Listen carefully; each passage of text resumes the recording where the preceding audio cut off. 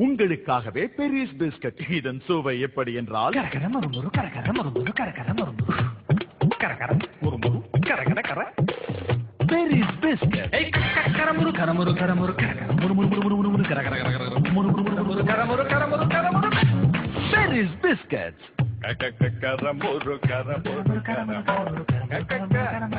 கரமுரு கரமுரு கரமுரு கரகர மறுமுறு சுவையானது